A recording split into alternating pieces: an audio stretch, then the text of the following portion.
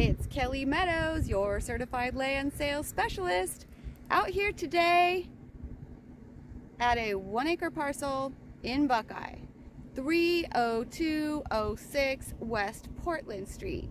It's got a fire hydrant on the corner, power lines are buried, so it's already got all utilities, roads are paved, so this property is a great value. It's really hard to find one acre parcels in Buckeye, especially with utilities.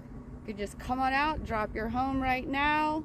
No need to wait for the uh, big builders.